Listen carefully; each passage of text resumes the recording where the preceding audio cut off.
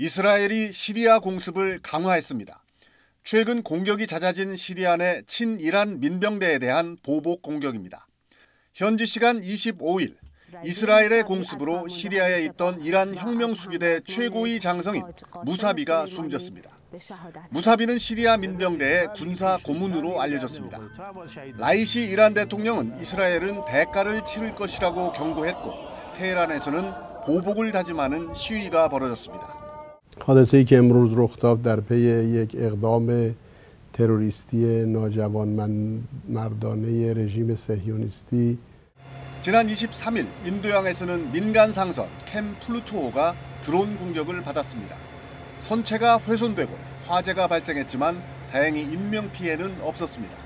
미국은 홍해에서 예멘 후티 반군의 상선 공격처럼 이번 공격의 배후도 이란이라고 비난했지만 이란은 근거 없는 주장이라고 일축했습니다. اتهامات و ادعاهایی رو مطرح بکنه ما این ادعاها رو به شکل کامل مردود و بیارزش تلقی میکنیم 이란의 지원을 받는 레바논 헤즈볼라와 이스라엘의 충돌도 계속되고 있습니다. 이라크 내 친이란 시아파 민병대도 미국과 이스라엘 공격에 나섰습니다. 이스라엘과 미국, 이에 맞선 이란과 중동의 친이란 병력 구도로 전선이 한층 넓어지고 있습니다. 어수선한 정세 속에 튀르키예는 시리아와 이라크 북부의 쿠르드족에 대한 공세를 강화하고 있습니다.